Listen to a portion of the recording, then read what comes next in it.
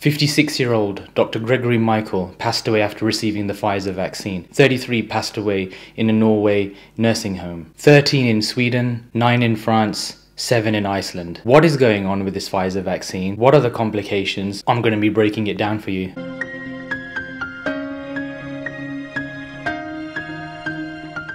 Hi everyone, welcome back to my YouTube channel. For those of you that don't know me, my name is Dr. Miranvir Singh. I'm an emergency medicine specialist here in the UK and today I'm going to be breaking down what is exactly happening with the Pfizer vaccine and why did Dr. Gregory Michael pass away and why did all these other patients in the nursing homes also pass away. Firstly, I want to give all my condolences to the patients' families and that everyone else that has passed away due to coronavirus. So I'm going to be breaking down step by step exactly what was happening and what led to the unfortunate deaths of Dr. Gregory Michael and these other patients. So I just want to put it out there to start with. I'm not associated with any governmental agency or any drug companies. I'm here purely as an independent doctor on my own, making educational and interactive YouTube videos based on what is happening around the world and in the world of medicine. So first thing is first, the European medicine agencies have ruled that the causes of death are nothing to do with the vaccine in itself. And I'm going to explain to you why that's the case. The CDC, Centers for Disease Control, are also investigating the situation, and also Pfizer have also acknowledged that the deaths are not to do with the vaccine in itself. Globally, over 98 million vaccines have been given, over 31 million in the United States, 24 million in China, and 9 million in the UK, with no fatalities as a result of the vaccine itself. That goes to show the safety of the drug in itself. It is safe. There's no evidence of fatalities as a result of the vaccine. Yes, there are side effects, which are different but no fatalities. So, what exactly happened in Dr. Gregory Michael's case and these other patients in the nursing homes? I'm going to break that down for you. Dr. Gregory Michael was a fit 56 year old doctor working in Florida as an OBGYN, an obstetric and gynecologist. He took the first dose of the Pfizer vaccine in December. We'll call this day zero. Three days later, he started to experience petechial rash on his hands and feet. A petechial rash are small red little spots which appear on the surface of the skin, and this is because the small little capillaries are not clotting. This alludes to the problem that there's something happening in the blood work which is not allowing the blood vessels to form clots. Obviously, Dr. Gregory Michael, being a doctor, was able to pick up on this very early and he took himself actually to the ER, the emergency room, the emergency department as we call it in the UK, at his local hospital. There, they did a variety of different tests, one called a full blood panel or a full blood count. This looks at the hemoglobin, the platelets, and the white cell count, and interestingly enough, when they checked the platelets, they found the platelets were at a level of zero, meaning he's got no platelets in his blood system at all. Now, normally, the platelet count. Normally, the platelet count is between 150,000 to 450,000 in the UK. In the UK, we say it's normally between 150 to 450. So obviously zero means zero. There were no platelets in the body system of Dr. Gregory Michael at that time. He was taken to the intensive care unit and in the intensive care unit they tried various different techniques of giving blood, giving platelets and other, and other techniques to try to boost the platelet count to stop this bleeding process from occurring. So the diagnosis given at that time was idiopathic thrombocytopenic purpura or ITP. Now this can be as a result of autoimmune conditions or it can be a result of medications. Now we know that Dr. Gregory Michael did not have any autoimmune or any other medical conditions. So this was a very rare side effect due to a medication. So let's take a look at platelets and what they do and why they're so important. So we know platelets are involved in clotting and, and they help stop us from bleeding out. They're part of a cascade of events in terms of other clotting factors, other factors inside the blood vessels, interaction with other molecules, and together they initiate the process of clotting known as the clotting cascade and stabilize the clot.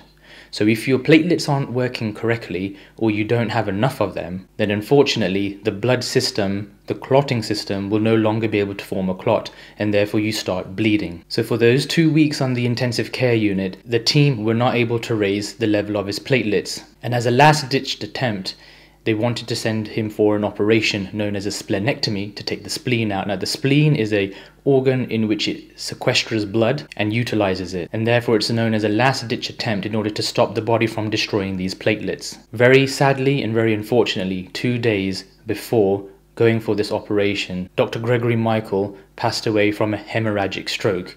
Now, a hemorrhagic stroke is a severe bleed within the brain, and that's because of the ITP. The body system was unable to form clots, and his blood vessels were bleeding, and he suffered a very large stroke. And his wife mentioned that he passed away very shortly after that. So, what happened was, unfortunately, suffered a very rare reaction, ITP, and as a result of that, the body lost the normal balancing system that it has for clotting and for bleeding. Now, this is very, very rare. And as I mentioned right at the start of this video, globally, over 98 million vaccines have been given. Now, by the time this video goes out, there will probably be millions more than this number. 31 million doses in the USA, 24 million in China, and over 9 million in the United Kingdom. And around the world, zero fatality cases as a result of the vaccine.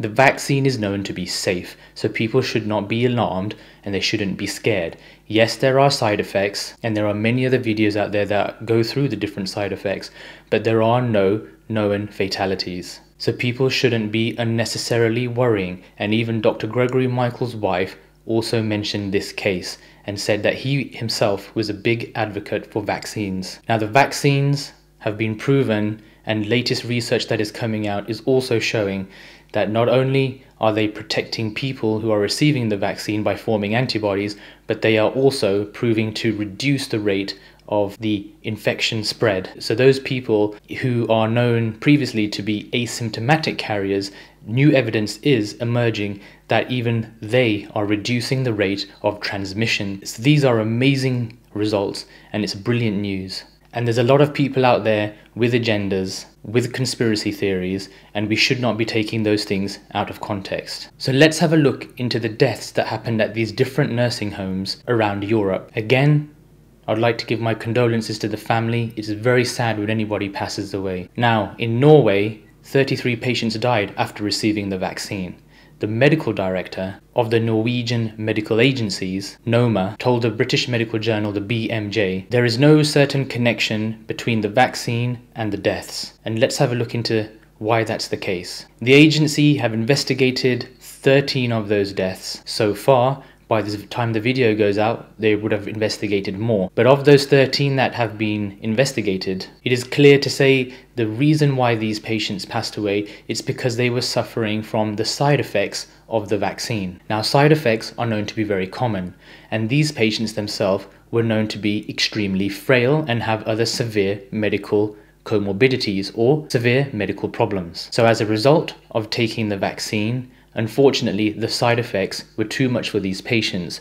These similar side effects in otherwise less frail patients who have less severe medical problems, yes, they would have suffered the same side effects, but they would have been okay with it. As a result of this finding, the agency have told doctors in Norway that they need to discuss with the patients and the families of these frail patients the risks and the benefits and to weigh up whether it's right to give the vaccine on an individual to an individual basis. Because of the complications of being very frail and having different medical problems, those risk and balances need to be weighed up before making the decision whether to immunize or not. Because unfortunately, for those who are in that situation, the side effects of those medications can be too severe for them, and as a result of suffering from vomiting and diarrhea, loose stool, they might not be able to cope with the fluid losses and therefore it puts too much of a strain on the body. And the European Medicines Agency themselves have also mentioned that despite the deaths, there's no specific data to state that it's a result of the vaccine. So, just to show you other figures, in Norway alone, every week 400 patients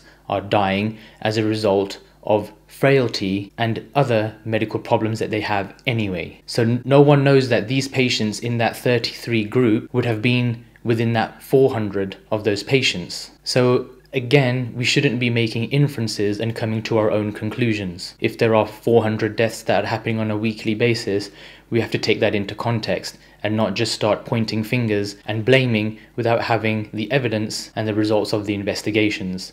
And as you can see from the investigations, there's no proof that it's as a result of the vaccine. Just like any medication that we give as doctors, we always have to weigh up the benefits and the risk on an individual to individual basis.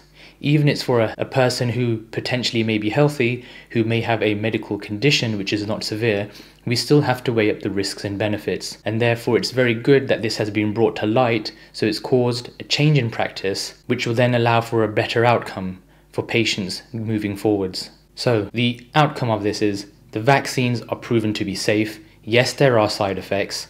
Most medications do have side effects, but we shouldn't take that out of context and we shouldn't start pointing fingers and blaming and we shouldn't start forming different theories in which we're scaremongering people. I hope this video was informative, I hope it was educational, and I want you to all keep safe out there. So remember, wear your mask, wash your hands, keep your distance, and be safe. Thanks for watching, and I'll see you all in the next video. Look after yourselves.